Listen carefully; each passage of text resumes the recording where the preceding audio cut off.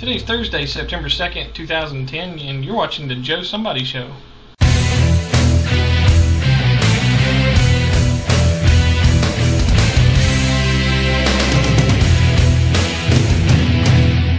So today I kind of wanted to show you a little bit about me and where I live and you know what, what goes on in my daily life. Uh, so what I'm going to do is give you a small tour of uh, my house, uh, my car, um, and and some of the stuff I do as a hobby besides making vlogs. I've only lived where I live now for uh, a couple of months, but uh, uh, I like it so far. It's a decent house, decent price, um, so it's it's all I need. So I'm going to give you uh, just a quick tour of um, of the house, starting at the outside. So uh, first of all, my beautiful view of the mill I don't know how well that's showing up, but that is a feed mill. And it's somewhat noisy and, and very big and probably ugly to most people, but I don't mind it. I'm kind of used to it. Uh, especially at night, it's actually lit up with lights. It looks pretty neat. So, oh well. But here's the front of the house. Kind of a, uh, a quaint two-story. Um, it's not it's not really big, but you know, it's big enough. I'll take a, a little walk around. I want to show you some other things. One of the other things about my house is my radio tower. Uh, I do CB radio and ham radio. Uh, so uh, everywhere I go, I put up a tower. It's a 20 foot tower, 20 foot mast pole, and uh, it's right here, starting at the ground.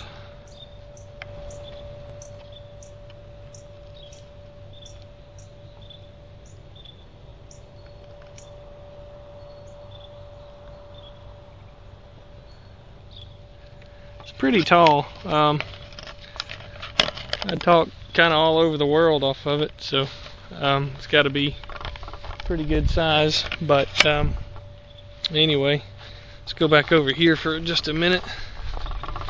Get on the side here, and I want to show you my car.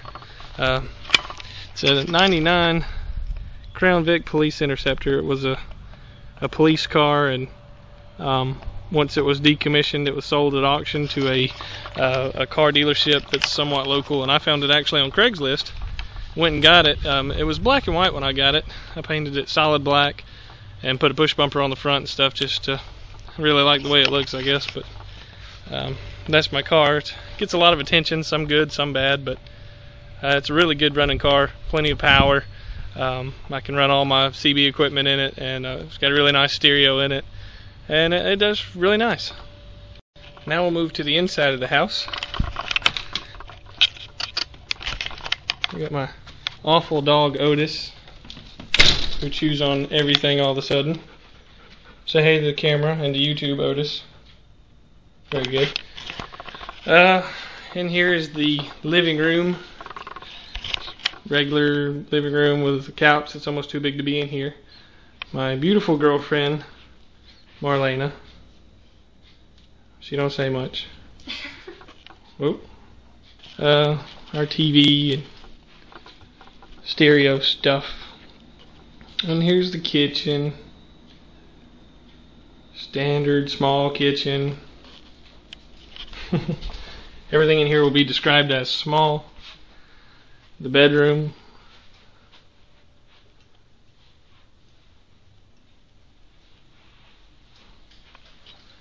which this camera does not pick up very well. Nobody wants to see a bathroom.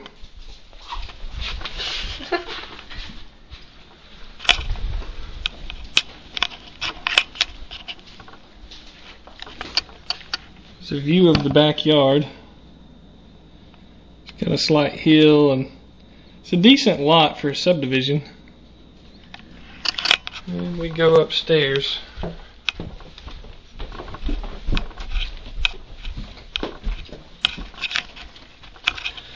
We have the nothing room, which is nothing. Another bathroom, and the best room of the whole house, probably. Probably the best room of the whole house. This is the computer CB radio, ham radio room, the man cave as we sometimes call it.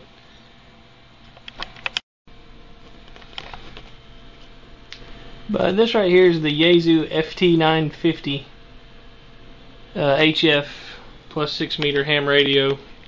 If anybody actually knows what that is. Um, that's what I use to talk to uh, local people around here and across the U.S. Anyway, I thought I'd uh, divert my attention a little bit to some stuff that I found on the internet today that I found interesting. The first thing I saw was that IBM has introduced the world's fastest processor. Clocks in at 5.2 gigahertz. That's fast. Though it won't be available for consumer purchase for a while, it's still really neat. Also, I ran across an article of a Detroit juror that was expelled for posting the verdict on her Facebook page. Uh, when I first read the article, I was like, well, what's the big deal? That's free speech. That's what America is all about. The problem is, is that she stated she was looking forward to giving the guilty verdict. The trial wasn't even over. There wasn't a verdict. That's a big problem. Then I ran across an article about a man named Philip Warren. Philip spent the last 62 years of his life assembling a 432 ship armada out of matchsticks and wooden matchboxes. The pictures look pretty neat, but I can't imagine spending that much time on something that useless, except vlogging. I spend a lot of time doing this. And it wouldn't surprise me if some of those matchsticks were used to build the tunnels in the mines that collapsed in Chile about a month ago. When it collapsed, it left 33 employees stranded over 2,200 feet underground. All 33 men are okay, but are still trapped underground, and they say it could be another three months before they're able to get them out. You're probably thinking to yourself, boy, I hope they get overtime, but that's the bad thing. Not only were they not getting overtime, they're not getting paid at all. In fact, the company says they don't have any money to pay their wages or absorb lawsuits. As a matter of fact, the company's not even helping with the rescue efforts. That makes me appreciate my job a lot more. Anyway, that was just some stuff I ran across today while I was on the internet. But that's all for the show today. Thanks for watching. Don't forget to subscribe to my YouTube channel and follow me on Facebook and Twitter. Links to everything I talked about are in the comments below. We'll see you next time.